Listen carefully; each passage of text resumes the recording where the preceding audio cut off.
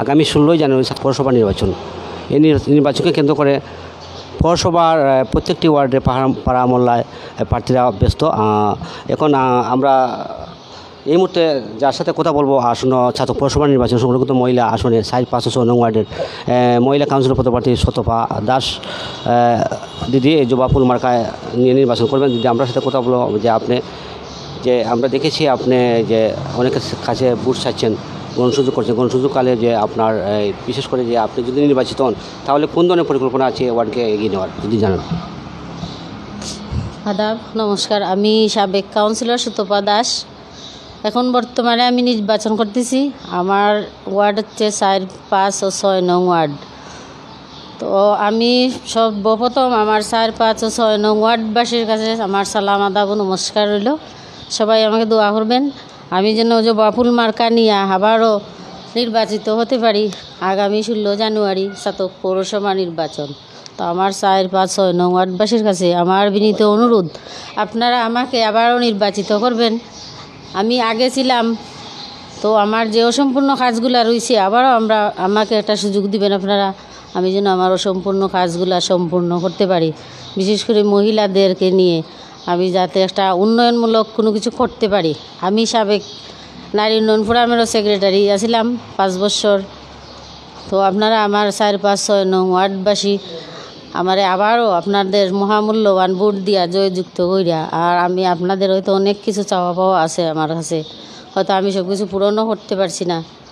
আগামী নির্বাচনে যদি আমি জয়যুক্ত হই, আপনারা আমার নির্বাচিত করেন, তা আমি অবশ্যই চেষ্টা করব আপনাদের যে অসম্পূর্ণ কাজ যে কাজগুলা করতে পারছি না আমার এইগুলা করার সুযোগ দিবা আমাকে দোয়া করবা আর আমার জবা ফুল মার্কায় আপনারা আমাকে ভোট দিবা। ধন্যবাদ দিদি আমরা আপনার কাছে আবার আসছি যে আপনি একবার যে মহিলা কাউন্সিলর ছিলেন কাউন্সিলর হিসাবে যে আপনি দায়িত্ব পালন করে গেছেন বিশেষ করে যে আগামীতে যদি আপনি নির্বাচিত হন তাহলে আপনি একজন নারী নেত্রী। নারী নেত্রী হিসাবে যে নারীদের জন্য আপনার কোন ধরনের উন্নয়নের পরিকল্পনা আছে বলে মনে করেন? বিশেষ করে নারীদের জন্য আমরা তো নারীরা আসলে পিছিয়ে আছি। শুধু নারীরা যে নারীরা যে কাজগুলো করতে পারে, এই কাজ না। আমি চাই নারীরা যাতে, যেমন বিভিন্ন কম্পিউটার প্রশিক্ষণ, কম্পিউটার মেরামত বা মোবাইল সার্ভিসিং আরও বিভিন্ন সেলাই তো মহিলারা এমনিতেও করেন। আরও বিভিন্ন কাজ আছে যেগুলা, অটো ইঞ্জিনিয়ারিং হোক, যাই হোক, যাতে আমরা একটা আধুনিক ইয়ে পৌরসভা দেখতে চাই। তো মহিলারা আসলে এই ধরনের কোনো কাজে আমি মহিলাদেরকে দেখতে চাই বা নিয়োজিত করতে চাই।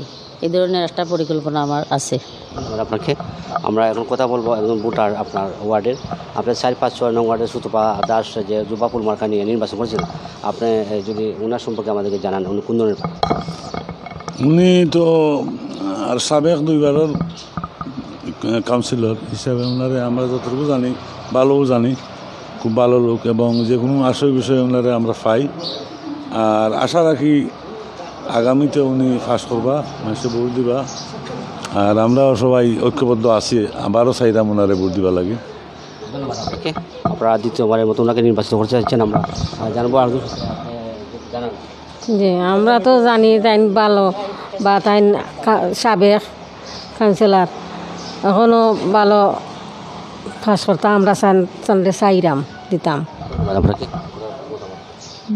আমরা তানরে দিয়ে আমরারও অনুগ্রহ আছে আশা ভরসা আছে যেমনি তাই ফার্স্ট করলে আমরারও এটা ভালো হইব সবের কাজটা।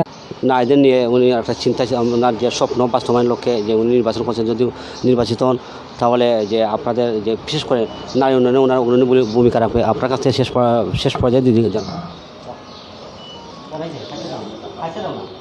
আদাব নমস্কার। আমি চার, পাঁচ ও ছয়, নং ওয়ার্ডবাসীর কাছে আবারও আমার আকুল আবেদন জানাই, সবাইকে নির্বাচনী শুভেচ্ছা জানাই জানাই আমি আমার চার, পাঁচ, ছয়, নং ওয়ার্ডের সব, সর্বস্তরের জনগণের কাছে আমার জবা ফুল মার্কায় ভোট দিয়ে আমার নির্বাচিত করবা। আপনাদের পাশে আমি সবসময় আসি থাকব, যতদিন আমি আপনারা নির্বাচিত হয়ে আসব আমি ততদিন আপনাদের পাশে থাকব। আপনারা যে কোনো আমার দরজা সবসময় আপনাদের জন্য খোলা থাকবে। আপনারা যে কোনো সমস্যায় আমার কাছে অন্তত ওকে বলতে পারবেন আমার কাছে দুঃখ সুখ যে কোনো কিছু। আমি শুনব আপনাদের কথা। যতটুকু করতে পারি অবশ্যই আমি করব। ধন্যবাদ সবাইকে। আহ, আমার প্রিয় চার, পাঁচ ছয় নং ওয়ার্ডবাসীর কাছে আমার সালাম, আদাব ও নমস্কার সবাইকে, নির্বাচনী শুভেচ্ছা।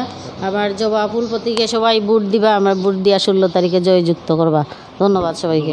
দিদি আপনাকে, আপনার কাছ থেকে আমরা সমাপ্তি বিশেষ করে যে আপনার আপনার একটাই লক্ষ্য উদ্দেশ্য যে জনগণের সেবা করা, আপনি দ্বিতীয়বার বারের মতো নির্বাচিত হলে জনকল্যাণমূলক কাজে সবসময় সম্পৃক্ত থাকবেন। আপনার একটাই উদ্দেশ্য যে আপনি, বিশেষ করে আপনার যে অনুপ্রেরণা, আপনি নারী উদ্যোক্তা, নারীদের জন্য কাজ করবেন, আপনার কাছ থেকে আপনার সুখী সমৃদ্ধি প্রত্যাশা আগামী আপনার কাছ থেকে দৃঢ়পত্র আপনার কাছ থেকে জন্য আপনার উত্তর মঙ্গল কামনা করছি। আসসালামু আলাইকুম।